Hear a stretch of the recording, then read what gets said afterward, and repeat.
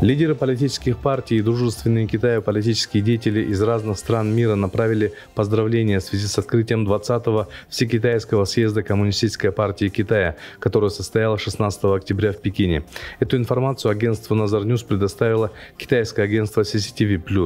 Президент Кыргызстана Садыр Джапаров заявил, что его страна полностью поддерживает выдвинутую Си Цзиньпинем инициативу в области глобального развития и глобальной безопасности, а также концепцию построения сообщества единой судьбы человечества. Президент Габона Али Бонга Андимба отметил, что КПК ввела Китай в ряд мировых экономических держав и обеспечила социальную стабильность и благосостояние китайского народа.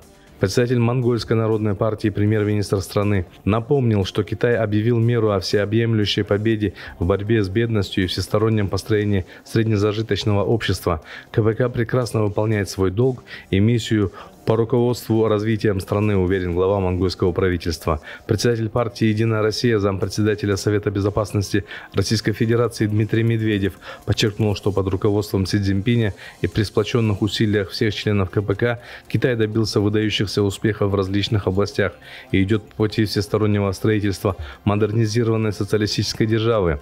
Кроме того, поздравительные письма также направили председатель социал-демократической партии Румынии Марчел Чалаку и генеральный секретарь Лиги арабских государств. Бакыл Кушманов, Акыл Уламбекулу, Назарньюз.